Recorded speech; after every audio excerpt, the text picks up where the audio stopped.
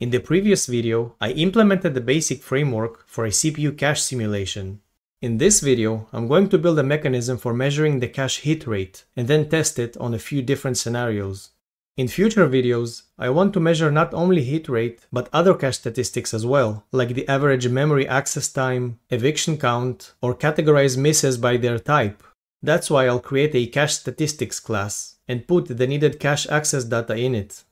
In this cache statistics class, I need two variables, a uint32 called cache accesses which counts the total number of times the cache was accessed, and another uint32 called cache hits, which counts the number of cache hits. To get the cache hit rate, I'll create a new method called getHitRate. This method returns the cache hit rate in the form of a floating point number between 0 and 1.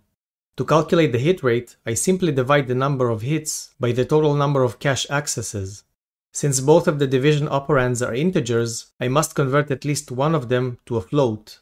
Otherwise, I'll always get an integer as a result, which can be either a 0 or a 1. The main cache class will have an instance of the cache statistics class as its private member. Now it's time to implement the logic for updating the cache statistics. The cache accesses counter needs to be incremented at the beginning of the cache read method.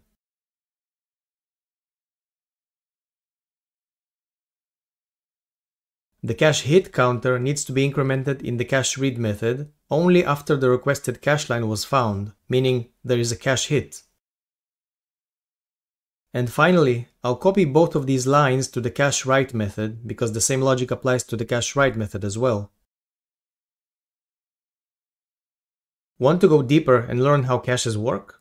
I wrote a short, easy to follow 20 page ebook that covers everything you need to get started with CPU caches, complete with illustrations and examples.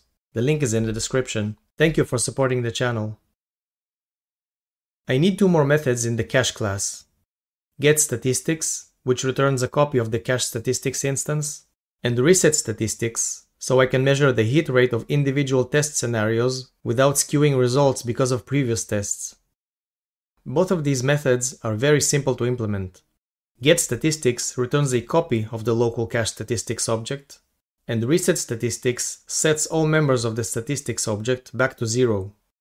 If you recall, we implemented an abstraction of the cache and main memory interfaces by wrapping them with a memory system class. Since this class is the only interface used for accessing the cache and main memory, I need to add both getCacheStatistics and ResetCacheStatistics methods to this class.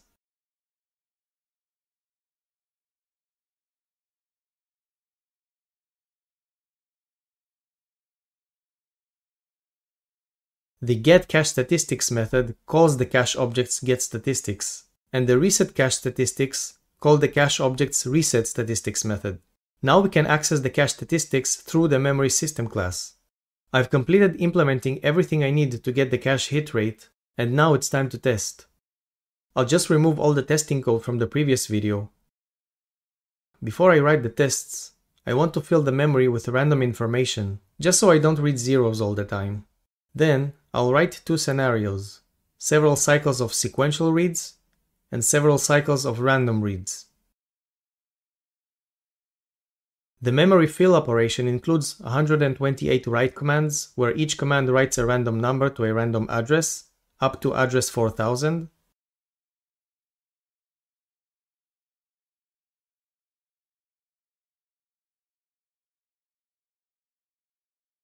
The sequential read cycle will consist of 128 read commands, where each command reads a 32-bit value from memory.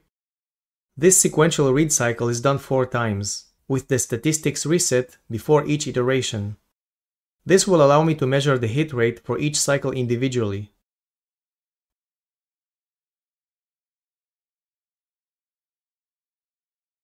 The expected result is a lower hit rate on the first cycle which will fill the cache with valid data from main memory, and the following loops should have higher hit rates since the same addresses are already in the cache.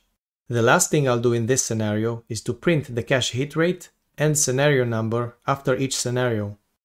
To get the hit rate, I can read the cache statistics through the memory system and call the getHitRate method I implemented at the beginning of the video.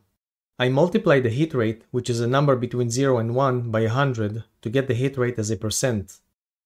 And finally, I'll send the formatted string to cout. Okay, let's run it and see the result. This is where the random writes end and the read scenario starts. You can see that most read commands are executed by the cache, and every 64 bytes, a cache miss occurs and another 64 bytes are copied from main memory to the cache. This is the meaning of spatial locality. One main memory access prefetches 64 bytes, which allows the next 15 commands to be executed by the cache, preventing the slow access to main memory.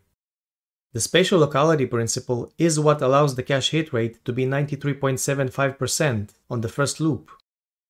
The second loop is already at 100%. This is because I only read 512 bytes sequentially, which easily fits into this 16 kilobyte cache. So if I read the same addresses again, they are all already found in the cache. Since nothing changed, the third and fourth loop also produce a 100% hit rate. Here, you can see the actual random data written in main memory. The second test scenario is a random read. I'll just copy the entire first test and instead of a sequential address, I'll put a random address up to address 2000. But since I don't want to use the same addresses from the previous test because that will heavily skew the results, I'll start the test from address 1000. In this scenario, I expect the hit rate in the first cycle to be low since it's randomly selecting addresses which most of them are not found in the cache and hit rate to increase with each cycle. You can already see that there are many reads from main memory, and this results in a cache hit rate of about 35%, which is not great, to say the least. But if I check the hit rate of the next cycle, you can see it increased to almost 68%, which is still low, but much better than the first cycle. The third cycle is already at 89%, and the last cycle is at almost 97%. So even with random memory accesses on a limited address range, cache hit rate and as a result performance increases very fast. Thank you for watching. Like, subscribe, and don't forget to check out my cache memory ebook. I'll see you soon.